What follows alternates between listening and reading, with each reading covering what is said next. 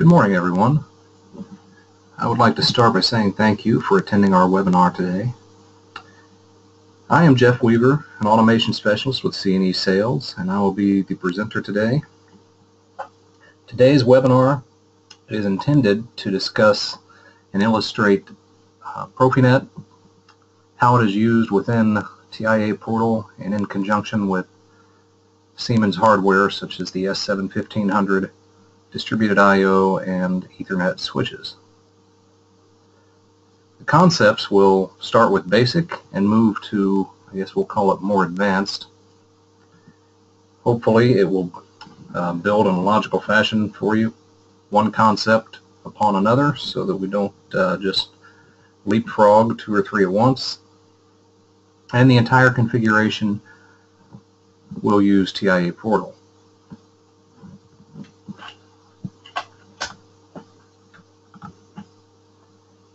So just a, an overview, I'm going to try and keep the presentation portion short. We're going to focus on Profinet features and TIA. Uh, Profinet is a name-based network configuration, and we'll certainly cover that. The concept is that uh, each device will have a name, and the name is easier to remember than the IP address, and the IP address will actually get assigned by the I.O. controller. We will look briefly at prioritized fast startup. That's essentially just a checkbox. And most of our processors will support uh, 64 nodes that are set to prioritize fast startup. This would allow a node, if it were powered down and back up, to potentially restart and be back online in under a second. We will cover system diagnostics, which are built into the firmware of the S7-1500 as well as our 1200 PLCs. We will show how those integrate within the HMI and the web server, PLC, and the software. Additionally, we'll show how to perform some programmed diagnostics. System diagnostics are free and excellent, but there may be some additional information that you would like to have as a programmer. We'll cover how that works, and some of the ones we're looking at today are pretty simple. We're going to look at simple device replacement, one of the most powerful features within Profinet, and this is a, a feature that allows you to replace a failed node of distributed I.O. Uh, without any configuration, without any laptop, just simply a plug-and-play solution. And that does require uh, Siemens or at least a managed switch within the Siemens family, and we'll cover that.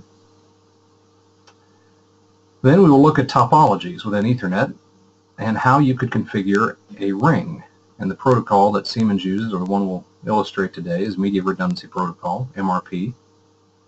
And that's a pretty simple setup, and we'll look at that. And once we configure MRP, we'll see, and you'll see the need for us to have a little more diagnostics so that we can diagnose cable faults and act when the cable has faulted before the next cable faults and we lose a node or an entire system. So we're going to do that with SNMP, Simple Network Management Protocol, which is an open standard, and uh, our PLC can pull SNMP data out of the Ethernet-based devices that we use today. So this is our agenda. First thing we're going to cover is just an intro to the Siemens controllers. Uh, this may be review for you. I just want to make sure we're not flying in uh, without any information on the product line. So basically, we've simplified for the controllers that we support or that we offer. We have a basic family, which is the 1200. That is a uh, classic brick PLC, meaning the I.O. is integrated. And as we get into more advanced functionality, we move into the S7-1500 platform. Um, these guys also have safety integrated. Both of those platforms you can um, you can buy a safety version of that processor. Uh, there are security options. Uh, sometimes those are external modules and sometimes they're built right into the CPU. And we're not going to delve too deeply into that, but if you do have those questions, we can answer them or, um, or give us a call as well. Uh, now this picture shows the basic line of controllers. There's a little bit more to it than this, but uh, the advanced controller, the SM1500, uh, that's the one we're going to demonstrate today. Uh, within that family, we have F processors for safety. We also have motion processors, which are T processors. The 1500, however, is a motion processor, and there are only a couple of functions that the T is needed to uh, needed for to uh, use with a motion application. The S7-1200 is the more basic PLC, uh, less power, less memory, uh, less overall I.O., but quite powerful, and you can distribute from the 1200 over Profinet or Profibus, or even both. Uh, the distributed controller down here in the lower right, uh, that is this guy, the, the distributed controller, is really an S7-1500 in a different footprint. This is also the I.O. platform we're going to work with today, although it's not the controller version. Then we also have a 1500 soft controller, which is, of course, a PC-based controller. And we also have an ODK 1500 processor, which would actually allow us to program in uh, C++. So there's a quick overview of the families. Uh, within the 1500, we have security integrated, where we can protect blocks, we can protect the program, uh, we can bind the program to a memory card such that uh, that memory card could be duplicated and not work in any other uh, PLC. Uh, I did just briefly mention 1500, 1200 differences. Um, the 1500 does support, uh, require memory card. It's a Siemens memory card, however it does not need a battery.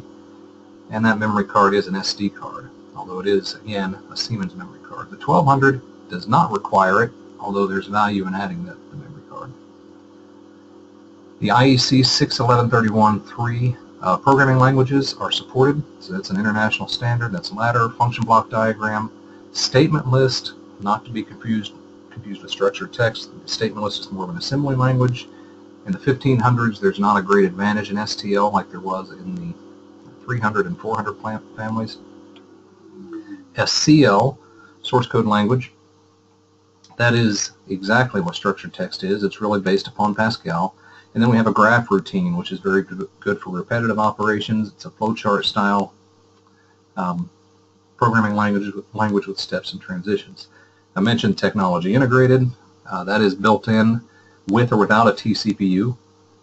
Uh, safety integrated, you would have to, to purchase an FCPU to use safety integrated we can distribute safety out of the Profinet port, the Ethernet port, and uh, mix and match safe and non-safe I.O.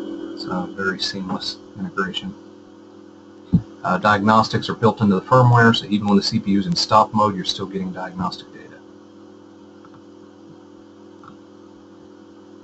And again, not a complete family lineup here. We actually have um, these last three over here in the technology CPUs. Uh, we actually have TF versions of those CPUs now as well. 15, 11, 15, and 17 all come in a TF variety.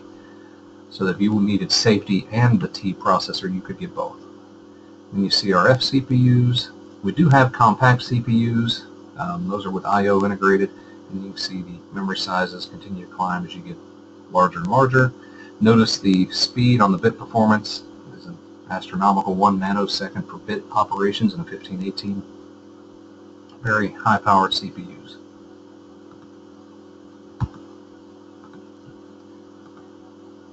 So introduction to Portal, this is the software that programs all of it.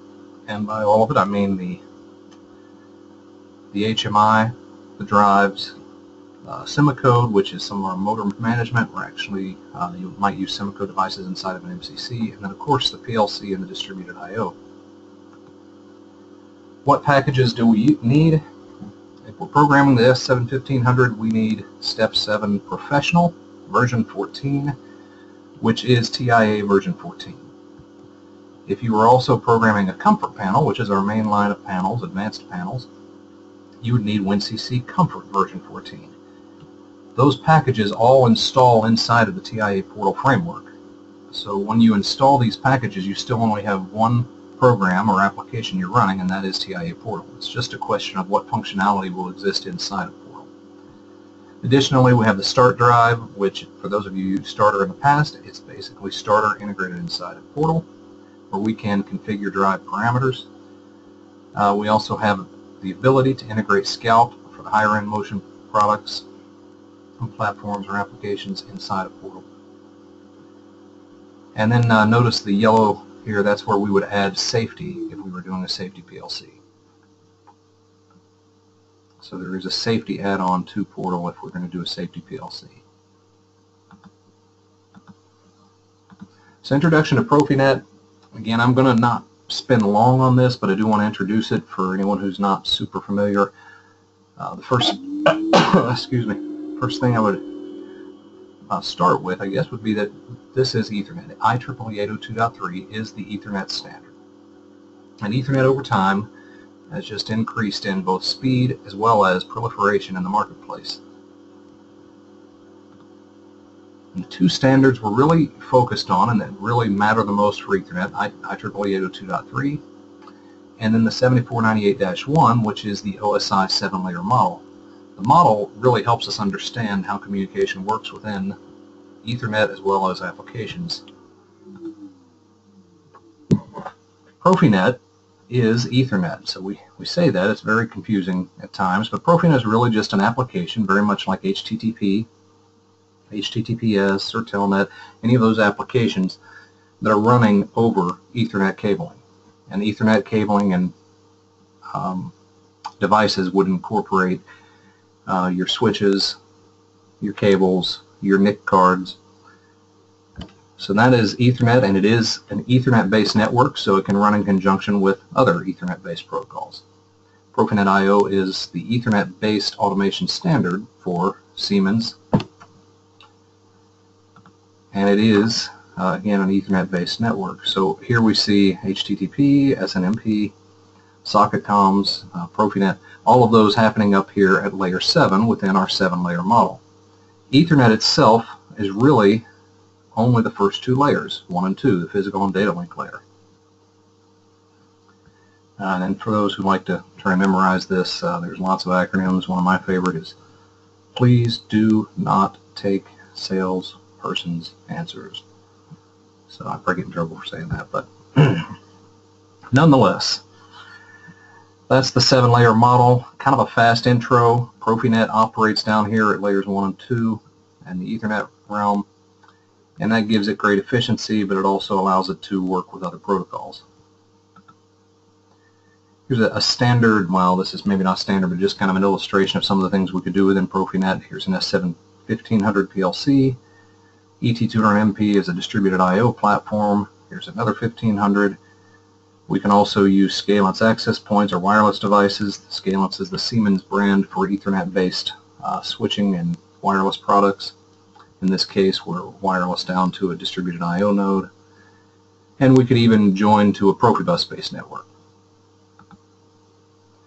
Uh, the general concept behind the Profinet system, and for whatever reason number two is missing, you have a an I.O. controller, which is typically the PLC, doesn't have to be, it could be PC-based but it's typically the PLC, and it is in our examples. And you'll have I.O. devices. So the I.O. device will then communicate with the I.O. controller. We can share that device among multiple I.O. controllers, and we can take another controller actually and turn that into a Profinet device as well. So it's a pretty flexible network. Uh, but today we're really just going to focus on uh, the PLC with a device and then topologies. The concept of device name is to make it easier to remember, but it also uh, simplifies some things for us on the configuration side. So when we set up an IP address, we're not going to set that up in the device. We're going to set that up in our TIA portal or our Step 7 version 14 configuration. That configuration gets downloaded to the PLC. So the PLC then has all the information about IP address and it's going to look for the device name. What we have to do as programmers and developers, we have to assign separately the device name to each node. And then once the PLC, which has this configuration, sees that device name, it will write into the device its IP address, and then it will also write in its parameters. Once it's finished with parameters, it will then enter I.O. exchange, real-time I.O. So that was a brief intro to Profinet. Again, if you have questions, please feel free to ask, and uh, hopefully we can answer those here at the end of the show. So this is our initial configuration. I'm going to build up uh, just a simple config to start. This is going to be an S7 1500 PLC connected to an ET200SP I.O. node. And we're going to just simply take one input from that node and bring it back to the PLC.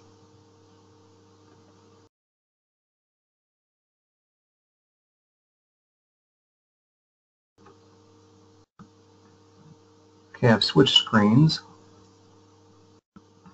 so we can uh, build this configuration over in uh, Portal. So here's our TIA Portal uh, shortcut. I launch that. Here is TIA Portal, the, the project view, or sorry, the portal view. Project view is down here on the left. So I'm going to create a new project here.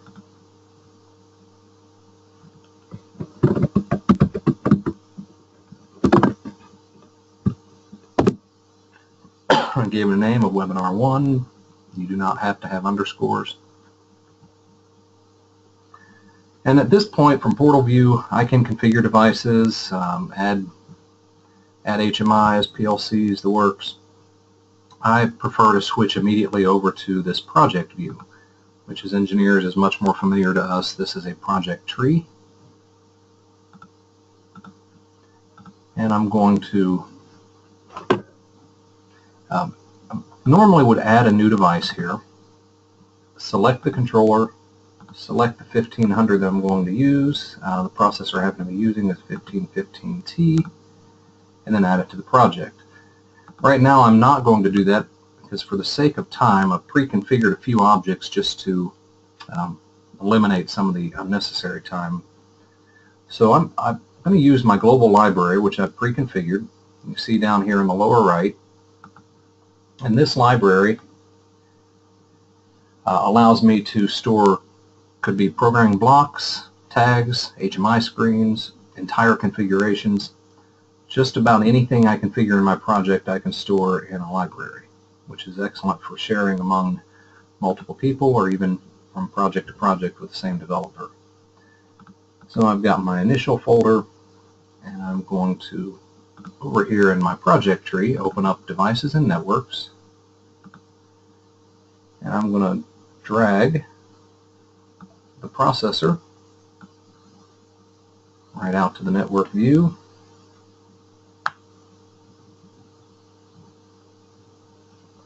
Excuse me. I'm going to drag my HMI to the network view. And then I'm also going to drag the distributed I.O. node, which is the ET200SP family, to the network view. So now those have been added to my project. You'll notice here in the project tree, I have 1500 PLC and HMI.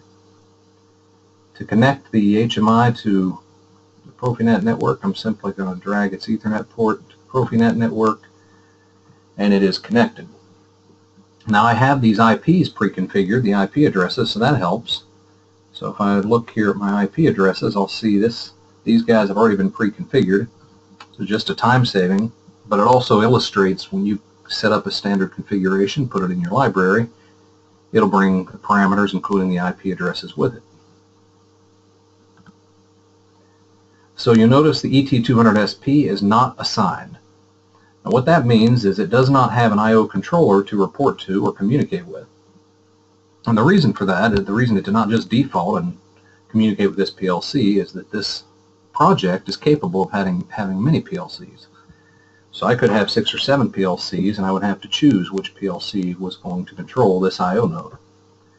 So in this case we only have the one, so I'm going to select port 1. This particular PLC actually has two NICs in it, I'm not going to use the second NIC today, so that's a separate IP address. And you'll notice uh, when I uh, selected it, I now have the 1515TJW is now showing up as my controller for this particular node. You also see the dashed line. That indicates the I.O. network. And you'll notice the HMI does not have a dashed line. The HMI is not a Profinet device.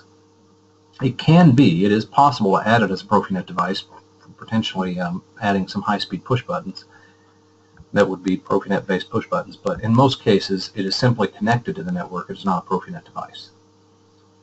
Here my node is already configured or at least connected, and I'm going to look at the configuration. So I double-click on this node, And you'll see I have my uh, input cards, output. If I look at the configuration for this node, I'll see there's a discrete in, 16 points, discrete out, an analog in, 4, and an analog out. If I were modifying this configuration, I could move this uh, server module, which does have to be present. That's the end module. And then in my hardware catalog, I could simply add whatever module I needed. So there's a discrete point, discrete 8 point, and I could drop that in. So it is now configured. But I don't need that. That's not my actual config. So I will delete that module and move the server module back to where it belongs in slot 5. So that is, that is now configured. If I switch back to network view and I click on the node itself inside of the box there, notice this name, ET200SP-node. That is the Profinet device name. And I'll show you how that's configured uh, internally. Now that's a correctly named device. And what I mean by correctly named is Profinet does not support underscores or spaces in the names, or special characters. However, if you choose to put those in your name, you can get away with that and the software will generate a different name in the background. That is correct. So if I scroll down into the properties, here's where it's generating the name for me and because the name is correct already, it keeps that name. I prefer to do it this way, but you can put in a different name and it will generate a different name for you. I'll give you an example.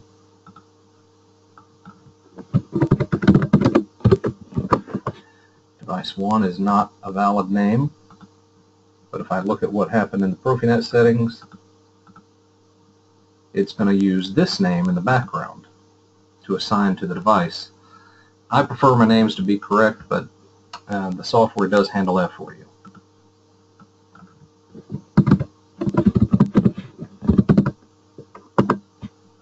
Excuse me. So we're back to a correct name. I believe I've pre-configured a tag here, but I'll double check. Yeah. So if I look at the tags within my PLC, I've configured one called push button, and that tag corresponds to the address i0.0. If I look at my ET200SP node, I will see my discrete input starts at address 0, so that is the very first input i0.0 on that module.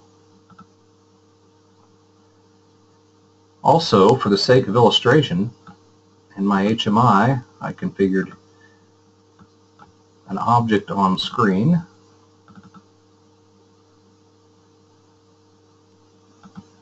that will illustrate or will animate based upon that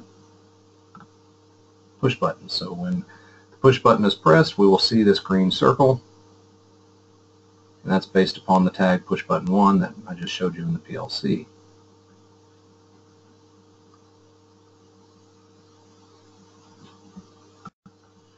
Okay, so I'm going to download the configuration to the PLC now. So if I select the PLC, select my download. And I selected the PLC first because again I could have multiple devices. If I was inside of the HMI and I hit the download button, it's going to then attempt to download to the HMI. So it's important to note that the first time you open up uh, Portal, you will be greeted with the extended download. You select your interface, in our case PNIE 1 is the network everything is connected to. Select the Start Search and it should go out and find all the devices we're connected to and that match this PLC that I'm trying to download to.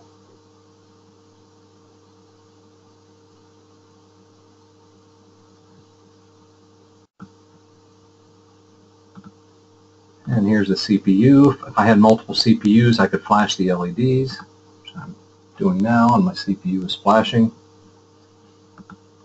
And that would help me to identify which device I'm communicating to. So I select the PLC, select load, and then here it's going to drop the program into the PLC.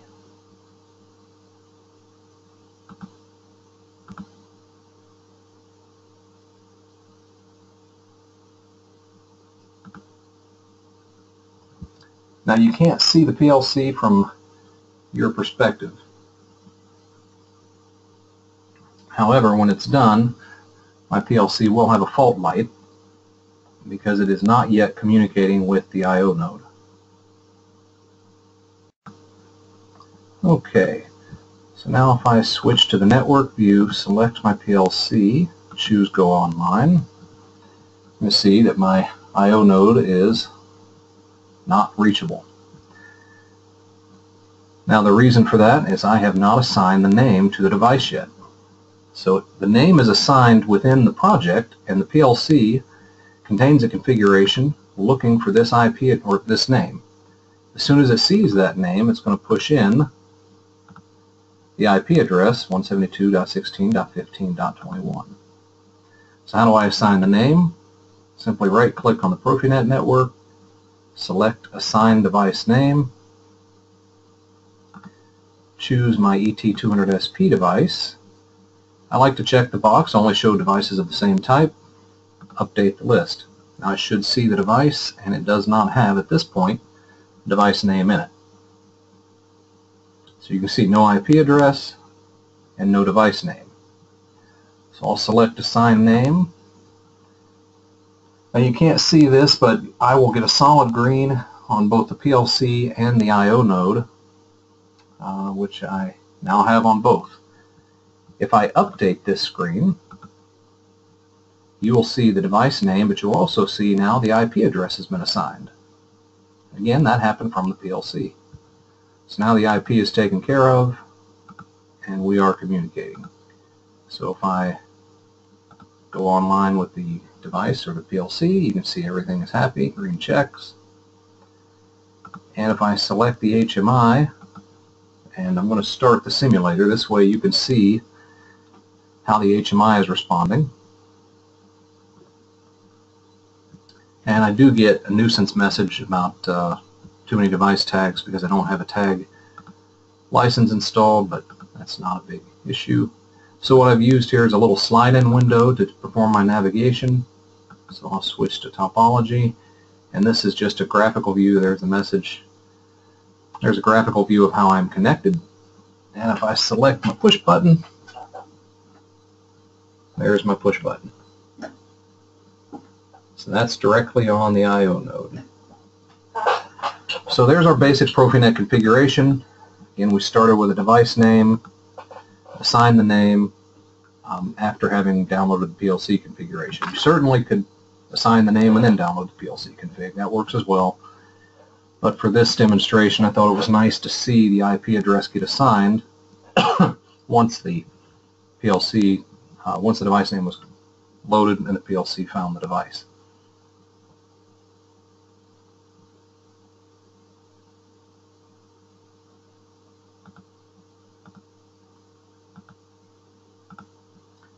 Okay, so there's our initial configuration. And now we're going to show just an overview of Siemens Ethernet switches.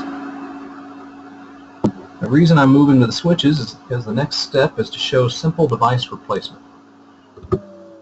And to perform simple device, actually sorry, I'm doing system diagnostics first. So I'm going to add in the switch for this. So here is my uh, XB200 and that's where this family lies. Actually, we're uh, Siemens switches, once you hit the 200 level and higher, you have a managed switch. The XB200 is Profinet aware or can be. Uh, I'd like to point out the XB200, and we have other switches. The next level up is the XC200, much more IT capabilities such as VLANing. However, the XB200 you can order pre-configured for Ethernet IP or for Profinet. Now they can always be changed once you receive the switch, but the benefit of the pre-configured is if you have an excuse me, an Ethernet IP network, which many of you have dealt with, the IGMP snooping issue or the multicast traffic issue, that will bring down your networks. The XB200 comes pre-configured for Ethernet IP. It's very competitive price-wise, and you can drop that into your configuration, plug into the XB200, and never configure. it. Just let it sit there like an unmanaged switch, and it will sort out your IGMP tra snooping traffic, or your multicast traffic, I should say, with the IGMP snooping enabled. Uh, this is what the switches actually look like, the ones that we're working with today. The XB200, the XC200 is more hardened, has a, a jacketed protection around the RJ45. These switches can come fiber or copper or combo, like you see here on the XB205. but we're using just the, the XB208. That switch is configurable with um, web-based management, so just a web server, uh, web browser. Is also configurable via the serial port, the console port. Uh, you can actually use command line interface via the console port or via one of the uh, Ethernet-based ports. So if you're used to configuring Cisco's with CLI, you can do that with these switches as well. So with that mentioned, we're going to move over to system diagnostics. So system diagnostics, what does that include? System diagnostics uh, will include, it depends on the device, it will include things like uh, loss of voltage, module failure, uh, could be short circuit uh, protection, open wire protection or information, uh, loss of node, so if a distributed I.O. node drops out, that information is in the processor without any configuration. Additionally, the same information is available to the HMI, to the web server, inside of the portal software, and um, also on the actual face of the PLC, which you guys won't be able to see, but it is the same information.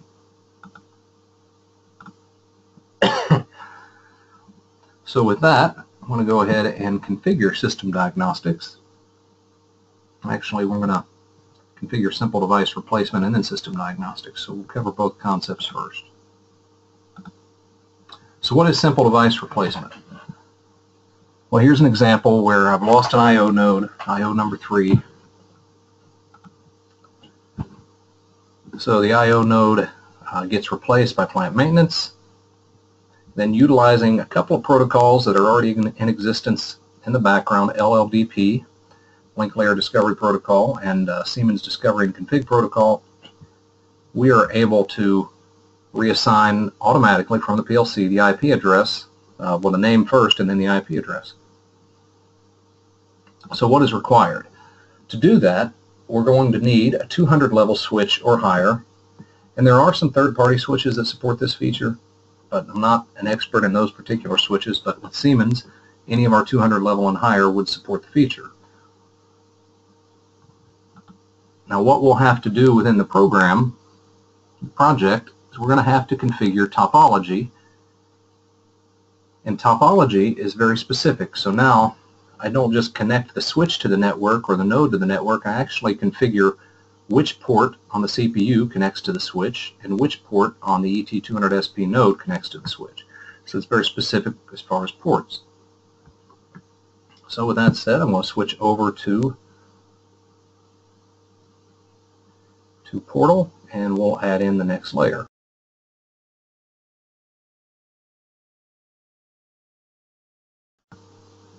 Okay, I've switched back to Portal And I'm going to again use my library to add in my switch, simple device replacement library, and I drag that to my network view. Now this switch could also be added if you were doing this you know, without the library the first time from network components in the hardware catalog, the X200 and the XB200 family, and there's the XB208. Excuse me and then we can drag that out to the, the network view. So this becomes, the XB208 now becomes an I.O. device in the network. So I'm going to go ahead and connect it to my PLC. And you'll note I've already got the IP address configured, so that helps.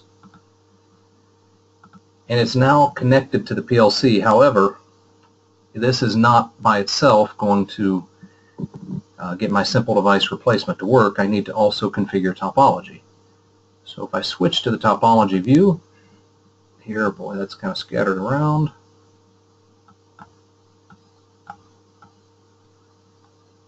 And here's my PLC and my I.O. node, and notice none of these are connected at this point.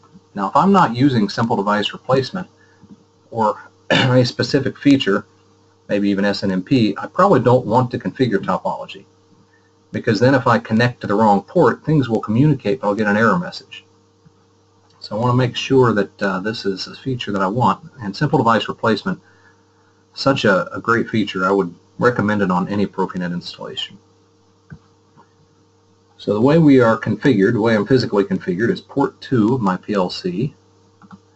This is port 1. Port 2 is actually connected to port 2 of my ET200SP device. Port 1 of the ET200SP device is connected to port 1 of my switch. So there we go, that's configured. And that's all I need to do for simple device replacement to work. I will, however, go ahead and add one feature, and that is, uh, I mentioned it earlier, prioritize startup. This will speed up the startup of a node, and this is based upon your PLC's um, technical specs, how many devices will it support. Typically, our PLCs will support 64 prioritized startup devices. So now I select the PLC, download,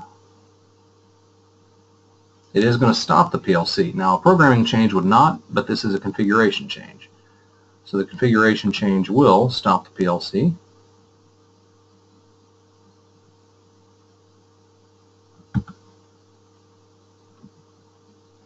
Excuse me.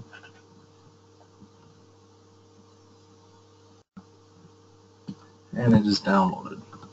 So now if I select the PLC, go online, I want to notice, again, a red X here.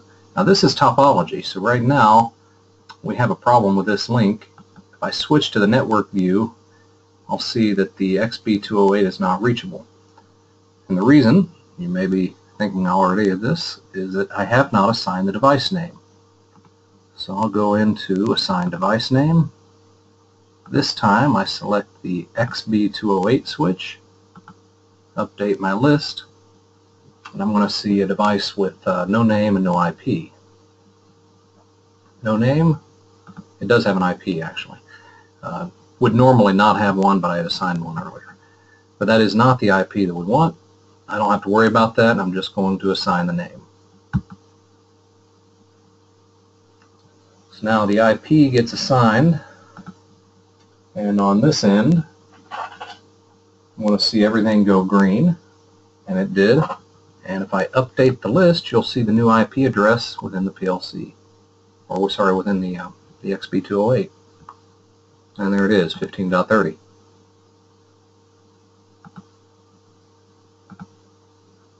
And there we go. Took a second to update. Green checks everywhere. Everything is online. If I switch to the topology view, everything is good to go. So the question is, is it really working? The um, the automatic or simple device replacement. So what I'm going to do on this end is I'm going to disconnect the cable from the PLC to the ET200SP. Obviously when I do that, that's going to disconnect him from the node, and then I'm going to factory reset the node so that it has nothing in it. So I'll just go ahead and disconnect the cable.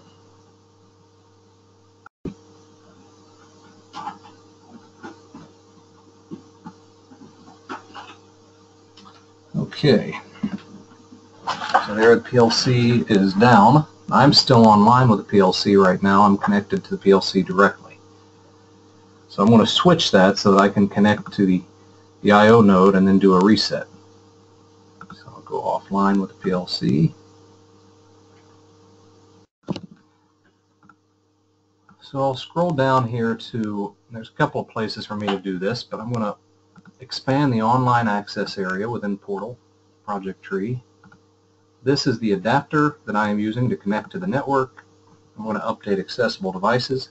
and there I will see my ET200SP node. So I'm now going to double click the online and diagnostics and perform, you can do firmware updates here as well. I'm going to do a full factory reset on the node.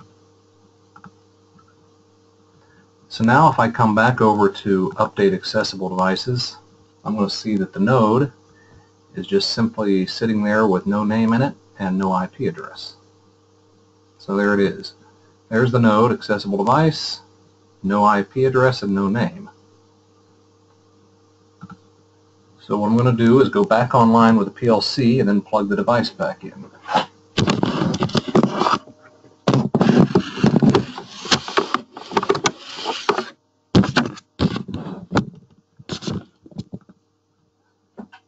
So I switched my cabling so I could be online with the PLC and you can see the device is still offline. Now I'm going to plug the device in. So this is a brand new factory reset device. It is plugged in and actually over here it is already back up and online and there it is.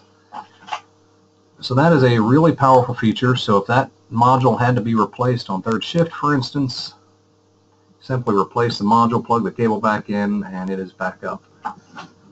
And that was accomplished via topology and a 200 level switch or higher. The XB or XC200 switches would be ideal. And to verify that we really are cooking with gas, I'm going to run the simulator on the HMI again so you can see that. I don't believe I updated the topology view here, so I will bring in a new topology screen.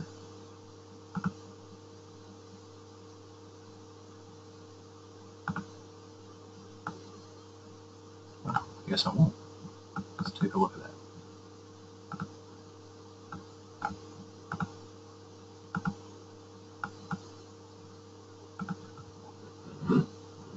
So this was simply a view. We'll, we'll get to that in the next section. So here we are, topology, hit my node, just to prove that we're back up.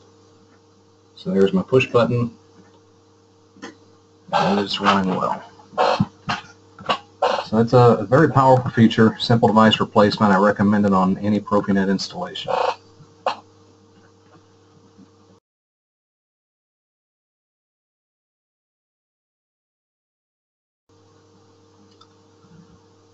Okay. Okay, so I mentioned uh, next step was system diagnostics. So this is uh, pretty painless. Um, a couple of things I'll configure. Make sure I'm offline with the PLC. Not much sense in trying to make config changes online. First thing I want to do that I haven't done, I don't have to enable system diagnostics, it's already built in, but I do want to turn on the web server. So here's the web server, activate, and you can, by the way, make it only viewable with an HTTPS connection, which would be encrypted.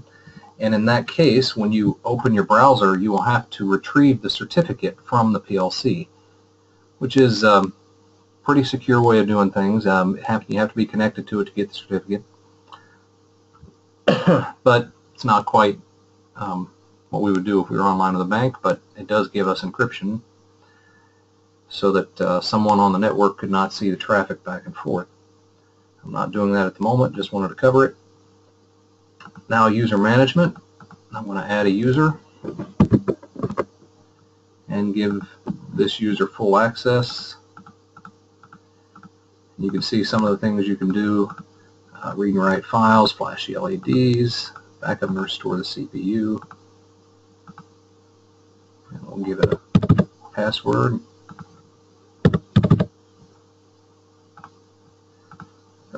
so that's all I wanted to add to the PLC. I do want to enable a couple of diagnostic events on the I.O. nodes, or node. So for starters, I'm going to select the interface module and select group diagnostics. So anytime I have a missing supply voltage. Now the way the ET200SP nodes work when you see a white base, we are introducing a potential. Anytime you see a new white base, we've disconnected the previous potential from the left and introduced a new one to carry on downstream. When you see the darker base, it is receiving its potential from the left. So in our example here, if we disconnect one of these, we should get a potential error or message within our system diagnostics. Additionally, I'm going to disconnect power from this module so I want to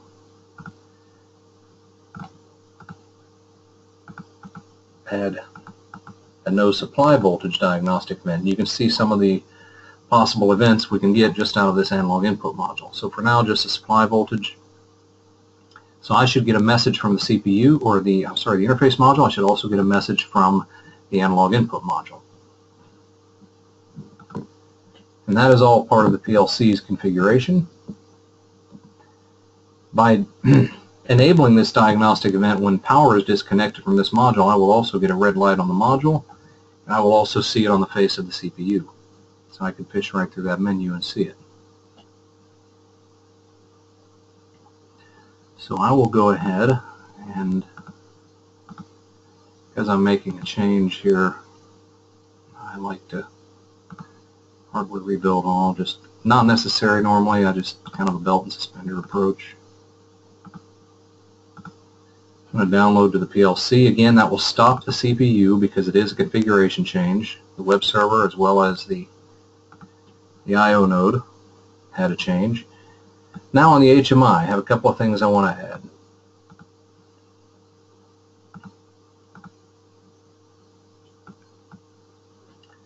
So on the um, screens, I'm going to add a screen, name it, and we'll call this alarm view.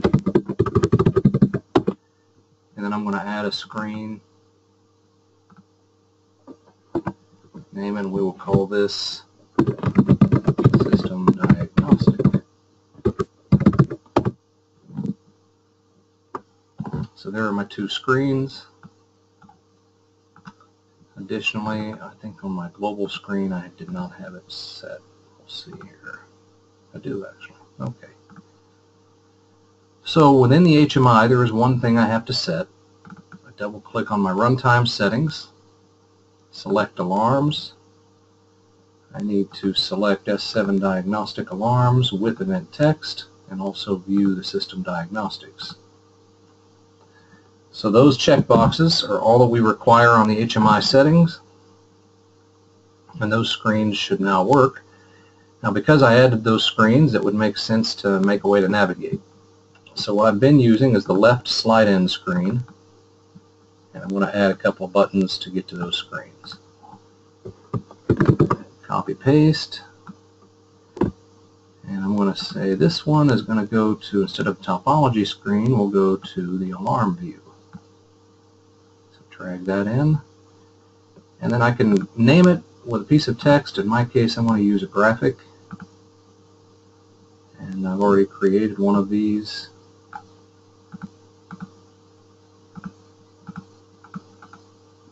I have anyway? Uh, I will just go ahead and call it.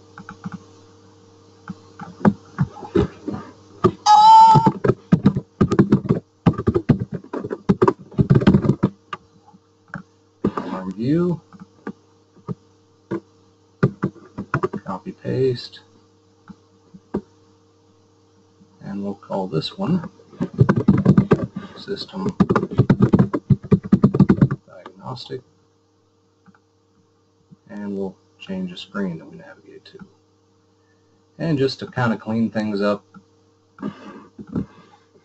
drop the font size on him a little bit so he fits.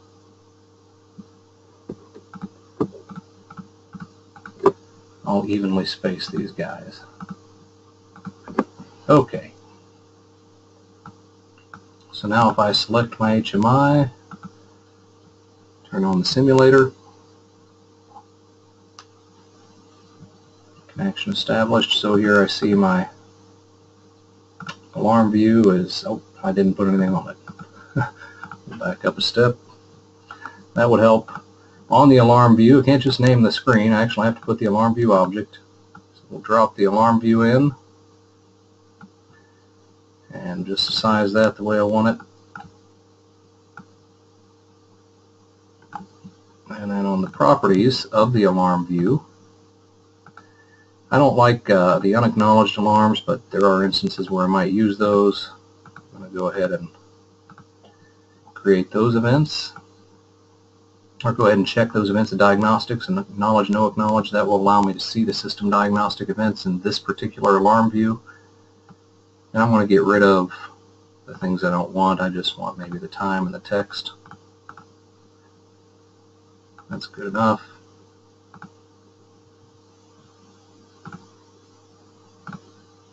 And just the info text. And we'll get into info text here in a minute. So there's the alarm view configured. System diagnostic view is actually even simpler. Grab this stethoscope looking icon, drop that onto my screen.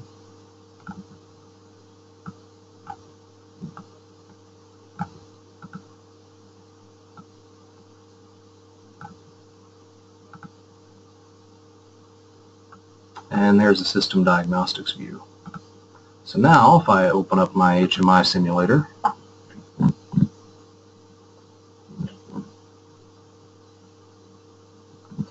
see there's my splash screen, no events at the moment. Switch to the alarm view, nothing's going on. System diagnostic, nothing is going on, it's just happy. So I'm going to do something simple like uh, we can disconnect a node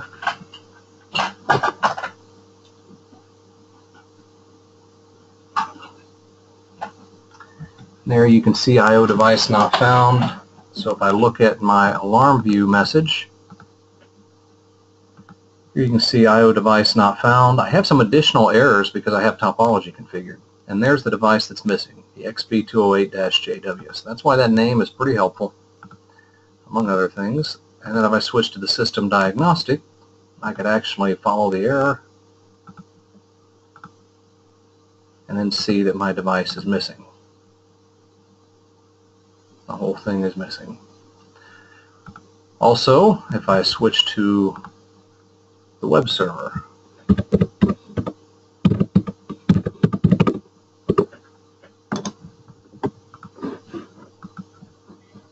log in, and it's going to give me a message saying this is unsafe because it's not safe, and then uh, here we go. So now we go to, for instance, the topology. You see we're missing the information here. We're missing the, the node. I could click here or go to module information. And this looks just like the diagnostic view. Follow the errors. And there I have missing ET200S. IO device failure, IO device not found. So I'll restore the device. And the web server seems to be the slowest in coming back to life. It's already back on this guy. Topology, we're going to add some configuration here in a minute to make that a little more interactive. And the alarm view is clear. So back here, everything's happy again. So next, I'm going to disconnect power from slot 3. Alright, so now I have two errors, as I mentioned. One is saying I have the entire interface module is telling me I have a load group, uh, load voltage failure in load group starting at slot 3. And here in the analog module it actually tells me the supply voltage is missing for that particular module. So if I followed system diagnostics, which again, if you remember, I did no configuration at all for system diagnostics on this screen. I just dropped the object out there. Follow the error, and here it is. I'm not sure why the text doesn't show up here, but at least it leads me to the module as well as the order number and the address. And if I come back to, say, the topology view, it's going to show that there's an error on this node. This time, instead of clicking module info, I'll click the module right in the topology view, follow the 200SP node, and here is the detail, error supply voltage missing. So all of this information is readily available. It's on the HMI, it's in the uh, Step 7 software, it's on the web server, it's also on the face of the PLC. So now I'm going to reland the voltage.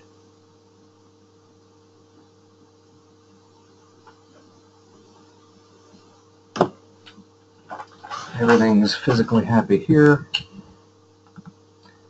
Everything is back to happy on this side and communicating. The alarm view has no more messages and then I should have all green on the web server.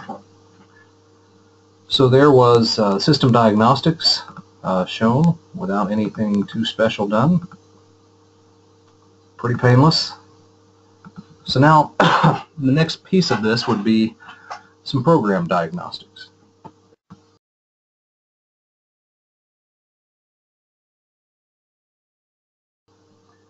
So what if I want to know which node dropped off uh, in the PLC? Maybe I want to enunciate from the PLC or even act upon that. Uh, additionally, I can even turn nodes on and off from the PLC. So what I want to do is uh, add a little more information, maybe create my own screen that would lead me to some information on the PLC um, as far as the nodes that are lost or what might be going on with those nodes. So again, I go back to the library because I have pre-configured a block, but I'll show you how that works. So where's my system diag? Program diagnostics. So I'm going to add in program blocks, and what I've created is a group of programming blocks, which is just two, really. One is really the tag container, which is how I term a data block. It has the tags necessary. And then the second uh, is the actual block that uh, does the work, the programming, the logic. I'm also going to add HMI tags to my HMI. If I can get back to the tags area, it's going to make me scroll.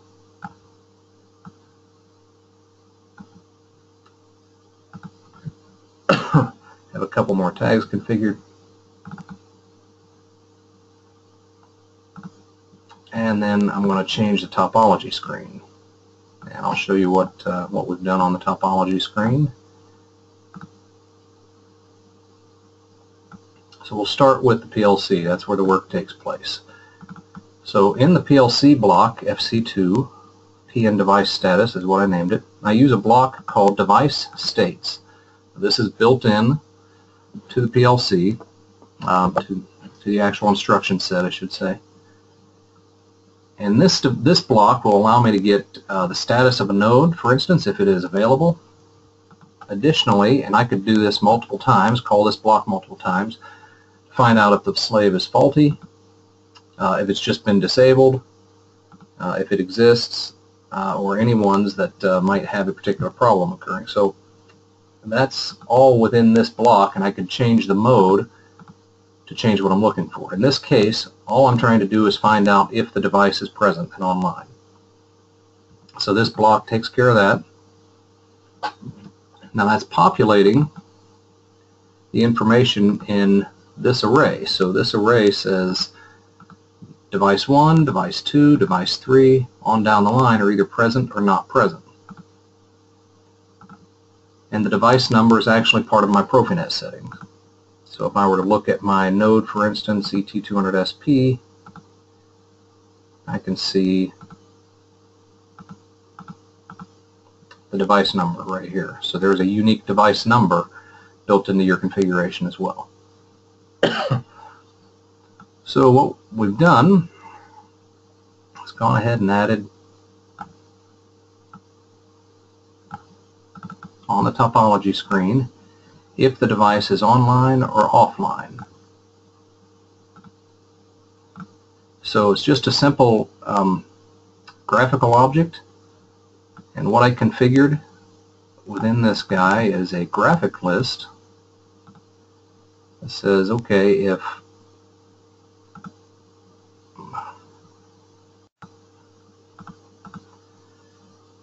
if uh, the the value from a particular tag comes back as a 1, I show a green check as a 0, I show a, a red X, or red cir circle with an X in it. So if I select that object, that's actually what we call a graphic I.O. field. It's looking at the Profinet device state for 1, and then it's going to be, of course, green or red, depending on that state. And I added also uh, what we call a symbolic I.O. field, which is essentially a text list, doing the same thing.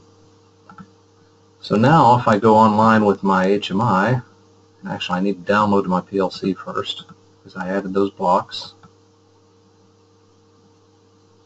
So it's going to drop in, should drop in function 2 as well as the uh, DB4. Actually, there's one more piece of this. I forgot. I didn't call the block FC2. So now to call it, I open up my main routine. For those familiar with Siemens, it's the same as a Rockwell main routine. It's a continuous routine. So any block that you call has to either be called from OB1 or a block called from OB1. Uh, although there are some other ways, cyclic interrupts and hardware interrupts where we can do things, but for now, we'll stick with a continuous. So now FC2 will get called from OB1, and now I can drop in my programming changes. And that did not take me offline. Now if I select my HMI and open up simulator, I should get some good information here.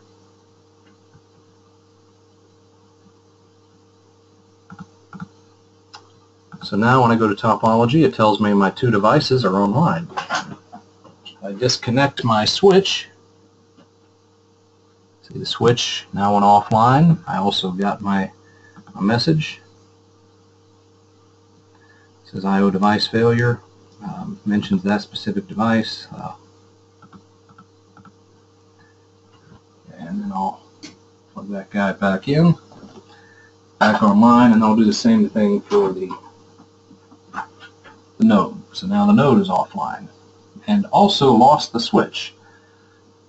Now notice that because of my topology, PLC is chained to the switch through this node. Now that's probably not the way I would normally configure it. But because this is a downstream device, the XB208, when I lost connection to the, the node, I also lost connection to the switch. So that's the the issue with a linear or a bus type topology.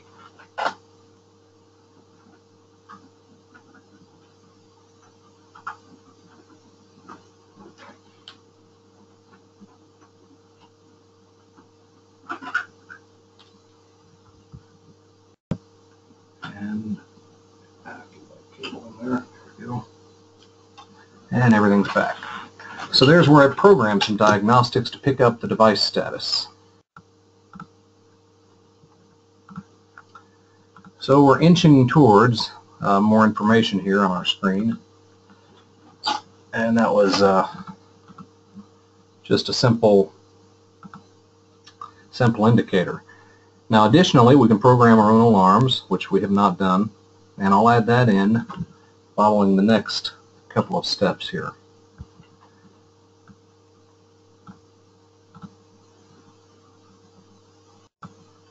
I'm going to switch back to presentation for a moment.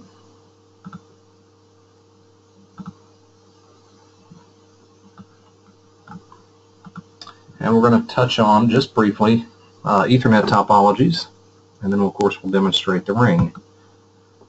kind of an old slide, but we've got bus topologies. We might drop uh, from the bus. This would probably be more of a plant view.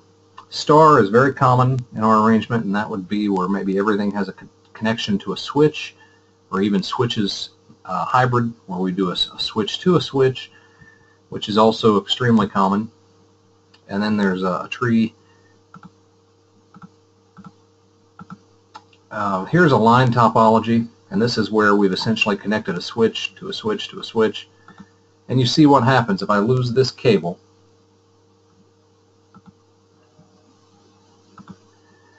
Then I have, uh, of course, what happens if the cable gets broken. Kind of Captain Obvious here. We've lost communication to an entire cell. So now from our PC standpoint, which could be a SCADA or programming software, we can communicate with two of the three lines, but only two. So a superior approach in a situation like this would be a ring topology. So in this case, I have multiple PLCs, and I'm going to communicate to all of those, and I'm going to construct a ring. Now if I lose a segment, then I still maintain communication. So how do I build this in the portal? Well, this is what I, we're going to configure now. So we're going to configure from PLC to switch, switch to the I.O. node, and then from the I.O. node back to the PLC. So now if we lose this cable, for instance, will still communicate to the PLC, to the node uh, back directly from the uh, PLC back to the node. And then, of course, we lose this cable to the switch. We'll communicate through the node back to the switch. So we'll have communication either way.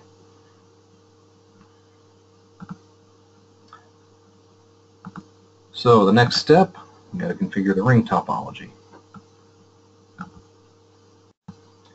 I'm going to switch back to the portal view.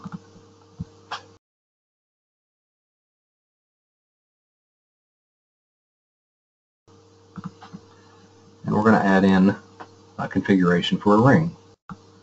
So again, to, to be efficient, I have pre-configured, but I will show you, you know, what I've pre-configured, and we'll just drop it in blindly. So change the topology screen. So I'm going to close up the program diagnostic library, folder within the library, open up my ring folder. So drop that in.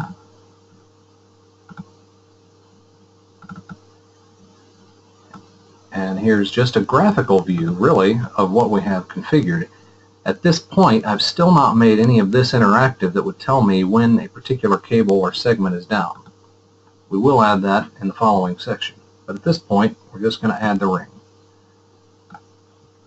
So if I double click on devices and networks, again, there's lots of ways to get to and from.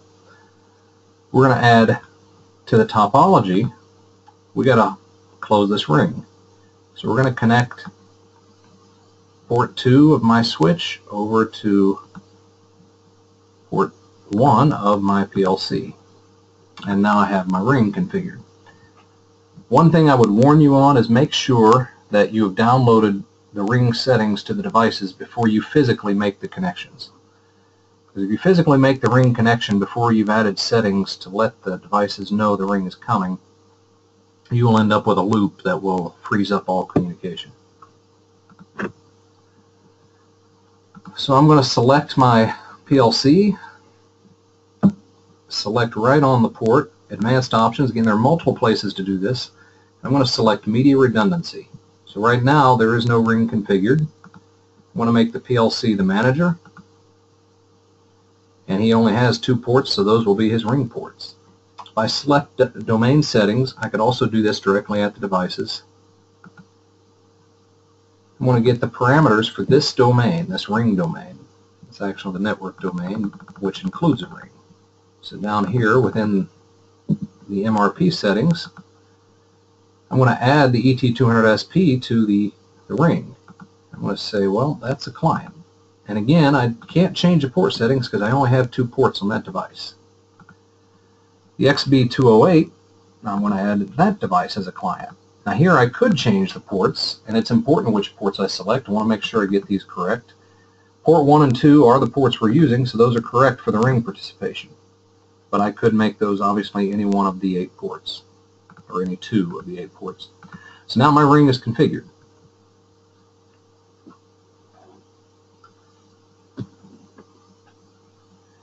So I will go ahead and select PLC and perform the download. And again, that will stop the CPU because it is a configuration change. Now the PLC is faulted but should still be communicating to the node. It is, but it is faulted because we're missing this cable. So I'm going to reconnect my cables correctly.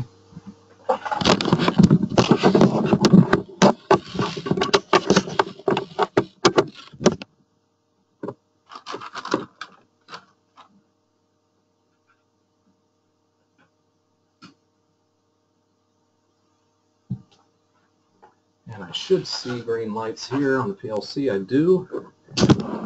And if I go online, I will see all green lights. Topology view is all green.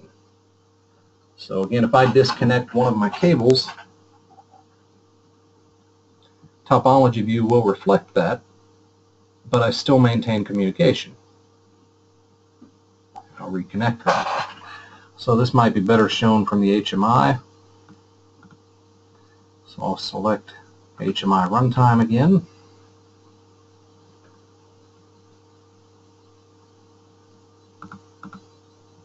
Topology. Again, I have not made these cables interactive. But now that I, I disconnect one, I'm going to get two faults. And the reason is both devices are reporting faults because both devices lost their connection. So if I select the XB208 there, I see port 2 is down, and on the PLC, port 1 is down.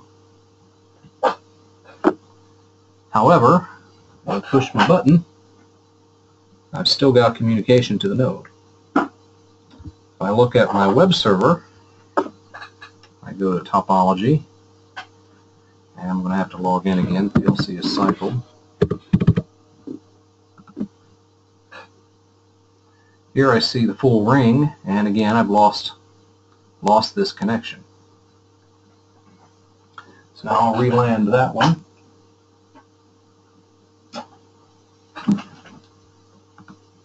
You'll see that error should go away. Yep, it did. Again, I've never lost comms here. Still communicating. See my push button.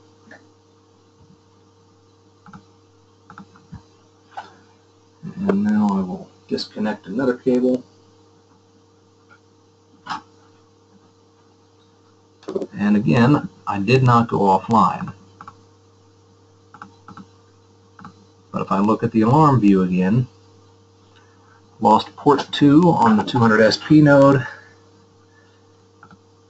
and I lost um, port 2 on the PLC, which is directly connected.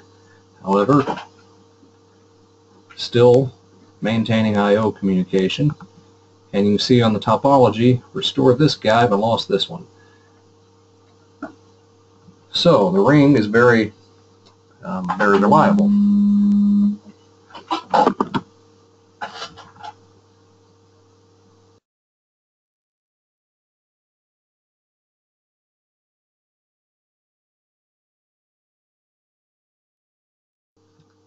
Now even though the ring is reliable, we still have the situation where if we had a cable break, we would need to enunciate that, show it on an HMI, or even send a message from a PLC to let maintenance or whomever know that we've got a broken cable and we need to go fix it.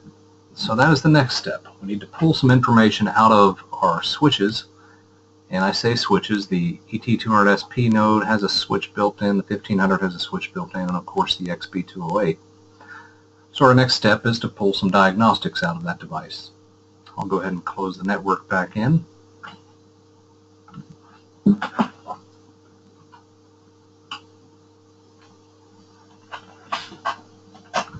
We should be back up no no more messages here, and a whole topology again.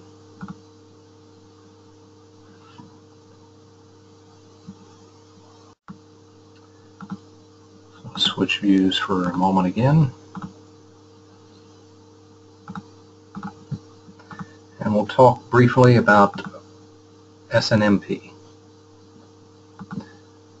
So our, our switches and our PLCs and uh, actually, in this case, um, uh, ET200SP node as well, or what we call an SNMP agent.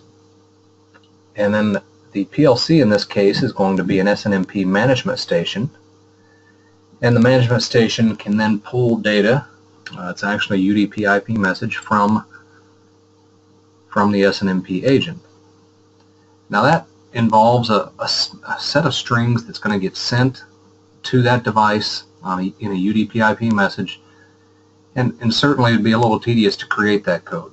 But Siemens has some sample code that uh, gives you a basic set of SNMP messages, and then from there we can use that to you know, pull the data out of our device as we want. So that's what I've done in my program. And some of the information we can get is the monitoring of the network components, uh, diagnostics. What I'm keying in on is port status, and that um, that's the guy that's going to give us the piece that we need. So I head back to TIA portal and we'll add in the SNMP piece. Again, I'm using my library. I'm going to bring over my program blocks, which uh, we'll look at those. It's essentially just a, a folder where I have an SNMP logic routine that calls the SNMP block. And I've created some tag containers and then there's some basic instance data blocks that we're going to use with this call. So it's really kind of takes care of itself, but if you get to the point where you want to utilize this logic, feel free to contact me and I can send you some information on it and walk you through it with uh, the blocks we've already developed here. So here I'm just simply doing an SNMP read-write function. In my instance, I'm really just doing a, a read of diagnostic data and then doing a little bit of alarming here. So here I'm saying if the, the ring segment 1 is up, we'll flag this bit and if it is not up then uh, we're going to drop that bit and then we're going to use that to trigger a couple of alarms over in the HMI. So over in the HMI we can say alright we have the segment is down we'll hit an alarm trigger tag that then gives me an alarm message in my alarm view so we'll look at that as well. But I'm going to use these bits whether the segment is good or not and I created three segments one two three to give me some visualization for my HMI. So I've dropped in the SNMP routine. I now I need to call the SNMP routine. And that is done. There's no extra configuration necessary. And I'm simply going to download the PLC.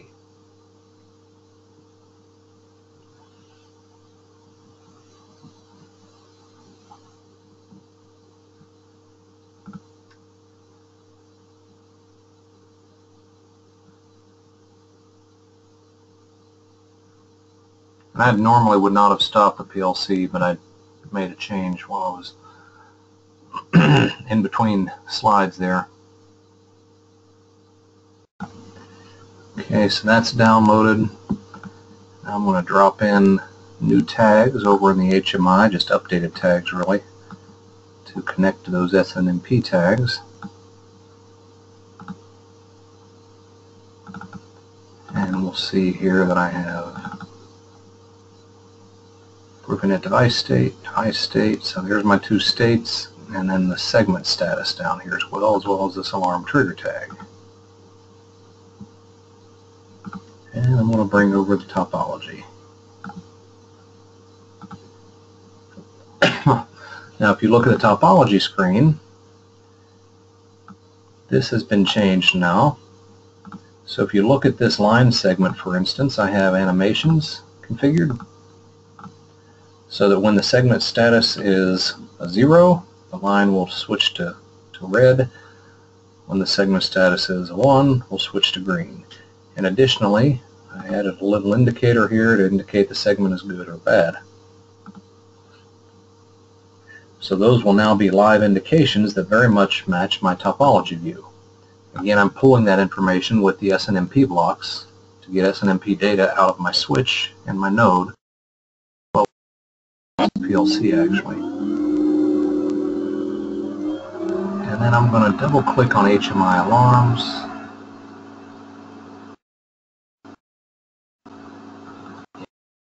Yeah, I believe I have this set somehow. I created too many of them.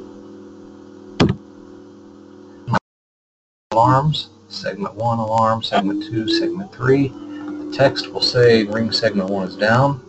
I've added to each alarm info text. This info text will say check cable connection of port PLC port 2, ET200SP node port 2. So it just gives a little extra information to the operator and I'll show you how you invoke that on the alarm view. There's really nothing else we have to do in our configuration. We'll just do it. So this should be ready to go.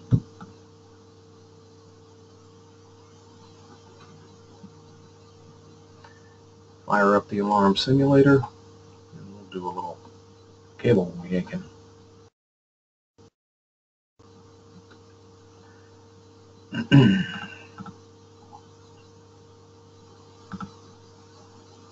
so there's the topology, and I actually have live segment looks now. So I'll kill a cable.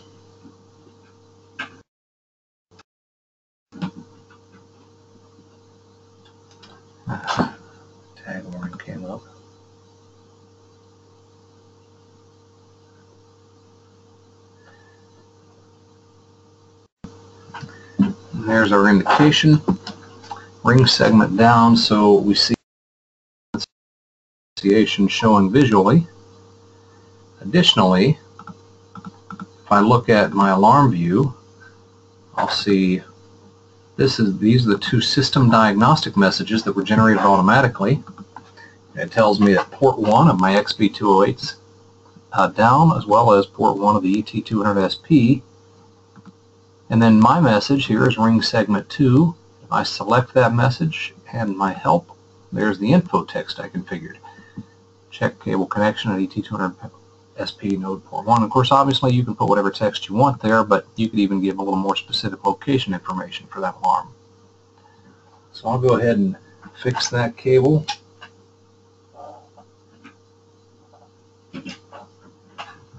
And let's go back to the topology view. That looks good. And we'll, we'll break the cable between the processor and the node.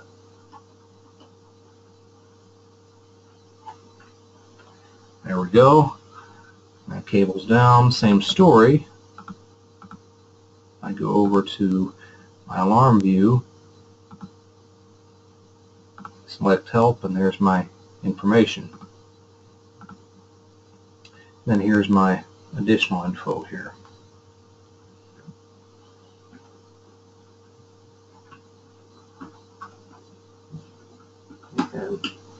Bring that back to life, and there she is. So all of that information is now much more usable, and I have some actual worthwhile SNMP info. So with that, that is the the end of the webinar. If you do have questions, please flag us there and uh, we'll get to those here shortly.